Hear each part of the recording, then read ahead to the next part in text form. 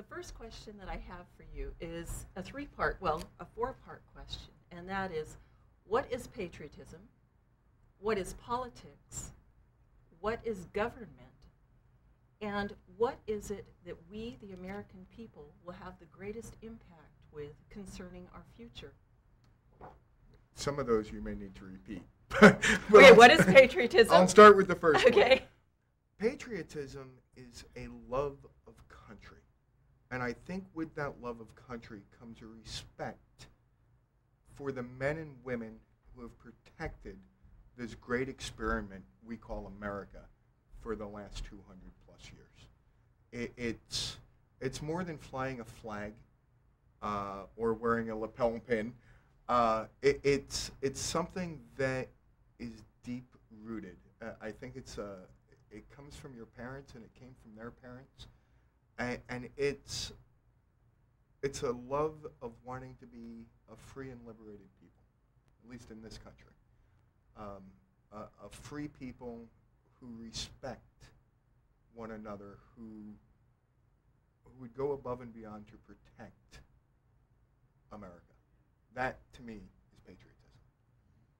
And the second of the four part question was what is politics? Third, what is government? But more importantly, which of those does the American people have the greatest impact with concerning our future?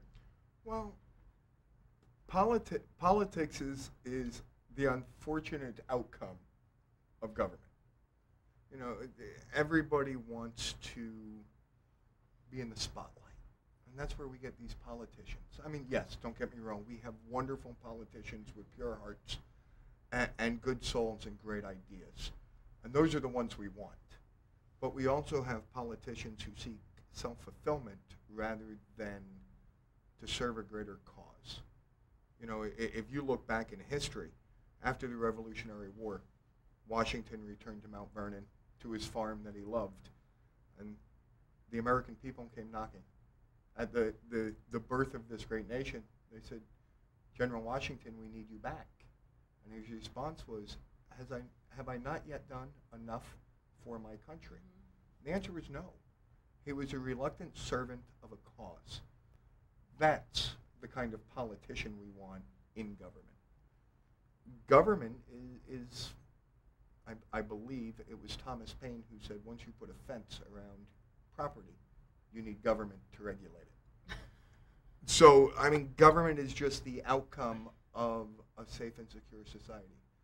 Uh, we can't protect ourselves. It's unreasonable to think that we could provide our own national security we could build our own infrastructure. That's, that's government's real purpose. It's, it's actually quite simple, and we've just convoluted it over the last 200 years. So how can we, the American people, have an impact on our future? And, and how? I mean, do you see an erosion of patriotism in our country? Well, we, you need to go back to the basics. And the basics is that the only thing that has changed history is the will of an individual or a very small group of people.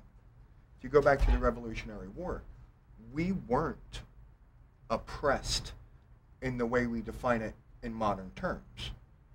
America was a, a, wealthy country, or the colony of America was a very wealthy country. We had food, we had abundant supplies, we had free trade with Europe, but we still felt oppressed because we felt like our rights were dictated by a king, a feeble king, rather than our creator. Uh, no human should give rights to another human being. And what rights are those? Well, they're outlined in the Constitution. The original writing was that we had the right uh, of life, liberty, and the pursuit of property. And property just sounded greedy, so our founding fathers changed it to happiness. Happiness meaning property in which we could harvest and, and call our own yeah. and prosper and uh, and it goes to that what I grew up with the American dream you you pull yourself up by your bootstraps and you buy a home and you have a family and you retire um, that comes from the thought of the founding fathers kind of like living happily ever after in a in a sense Yeah, I mean, if you if you think back about Reagan's shining city upon a hill, uh, that's exactly what Reagan was talking about. Just a spot where where free men uh, with good hearts could prosper and, and allow their imaginations to go wild, which is what we've done in this country. Whoever thought the great American experiment would have worked? Speaking of Reagan and Washington, you're a history buff. And, I try. And and can I call you an armchair political analyst? I mean, or, or are you officially a political analyst? it all depends on who you talk to. If yelling at the TV counts, then I'm definitely an armchair analyst.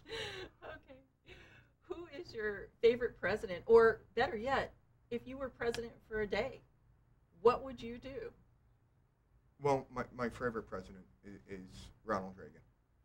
And, and I grew up in an era where he was the first president I really remember. I remember jokes about Carter, mm-hmm. but I was too young to understand them. Um, but I remember this confident, strong man getting on TV. And not only did he talk about the greatness of America, but he talked about the greatness of the American people. It had nothing to do with the country to him almost. It, it's what we as a society, as a people, were willing to do to remain free. A- and that just that instilled in me the patriotism I have today. Now, in addition to our political figures, either uh, nationally or locally, I understand that you have a lot of patriotism within your family. Yeah. Yes. Besides just the national figures, you have what you call heroes in your own family. Oh, my, my brother's a hero.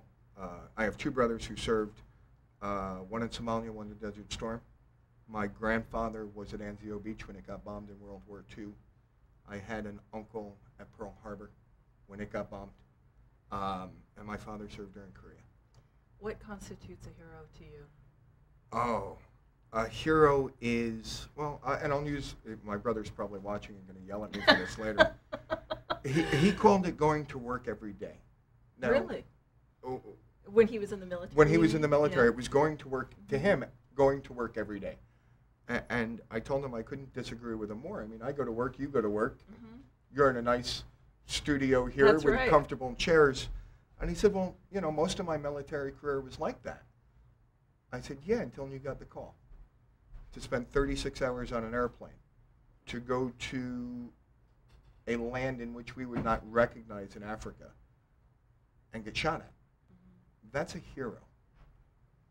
He put a cause, a cause of liberty, a cause of freedom, wanting his children, his grandchildren, to live in the same kind of land that he grew up in, above that of his own life. The, the things that he saw are things that you and I have nightmares about. Mm-hmm. That's a hero.